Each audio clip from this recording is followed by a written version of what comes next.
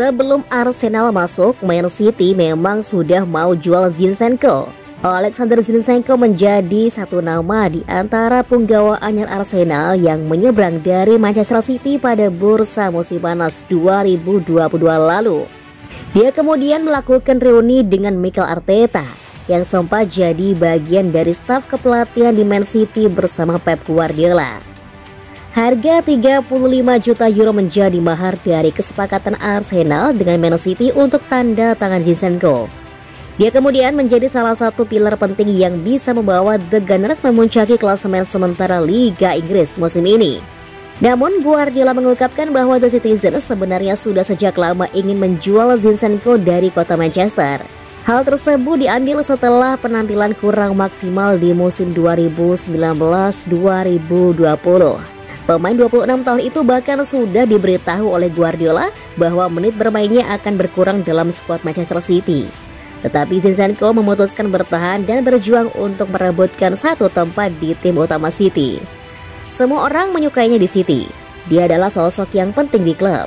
Paling saya sukai dari Alex adalah pada tahun-tahun pertama. City mungkin ingin menjualnya karena kami pikir dia tidak akan banyak bermain. Dia berkata, tidak, saya ingin memperjuangkan posisiku. Saya berkata, Alex ini sulit. Aku memiliki banyak pemain di posisimu. Dia berkata, tidak, saya akan bermain di sini. Dia berlatih dengan baik, tidak pernah memiliki wajah yang buruk, bercita-cita tinggi saat bermain, selalu berperilaku baik.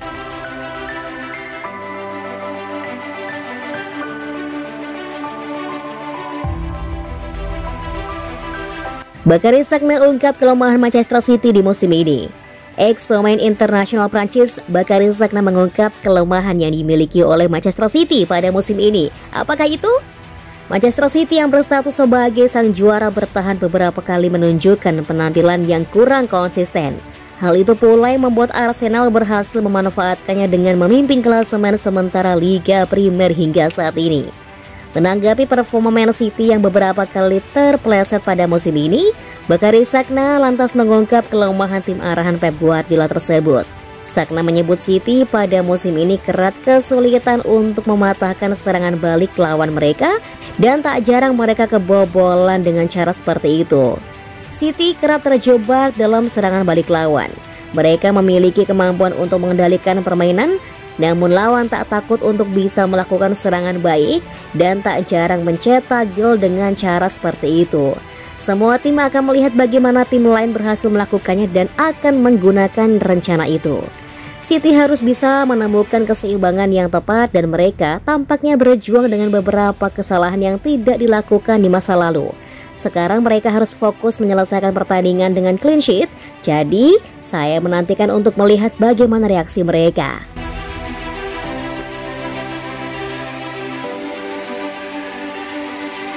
Hasil pertandingan Arsenal versus Manchester City. Berikut ulasan pertandingannya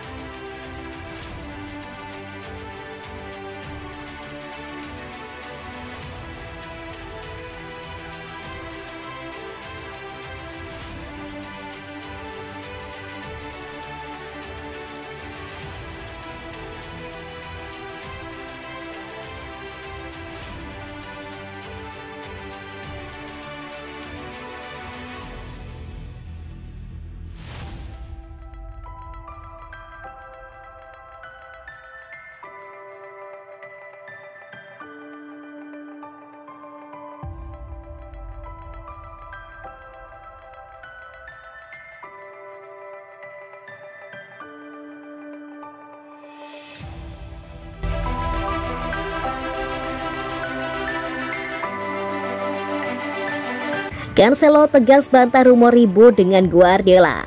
Joe Cancelo mengakui kepindahannya dari Manchester City mengejutkan, tapi dia menepis rumor pergi karena berselisih dengan sang manajer Pep Guardiola. Cancelo meninggalkan Man City pada hari terakhir bursa transfer Januari lalu. Dia bergabung dengan Bayern Munich sebagai pinjaman plus opsi dipermanenkan senilai 62,5 juta pound. Kepindahannya relatif mengejutkan karena Cancelo sebelumnya adalah andalan di skuad Pep Guardiola. Praktis baru setelah Piala Dunia 2022 lalu, Beck 28 tahun itu kehilangan tempat utama di Manchester City. Situasi yang berubah dengan cepat ini kemudian diikuti munculnya rumor bahwa Cancelo bertengkar dengan Pep Guardiola. Tapi pemain internasional Portugal itu menepisnya, lalu menjelaskan hubungan dengan Pep Guardiola dan klub. Benar bahwa perekrutan saya mengejutkan. Saya tak tahu bagaimana menjawab pertanyaan kenapa saya meninggalkan Man City. Orang-orang bilang saya pergi karena berantem dengan Guardiola. Itu bohong banget. Saya tak merasa penting di tim dalam beberapa laga terakhir dan saya membahasnya dengan pelatih yang juga setuju bahwa pergi adalah opsi buat saya. Saya tak punya masalah apa pun dengan City. Tepat saya mengambil langkah untuk mencapai level yang ingin saya capai. Berkat itu saya menjadi pemain yang sekarang. Saya sangat berterima kasih kepada Pep dan klub karena mereka memberikan saya segalanya. Saya tak akan pernah melupakan mereka dan pada akhir musim saya bisa kembali. Kata Joe Cancelo,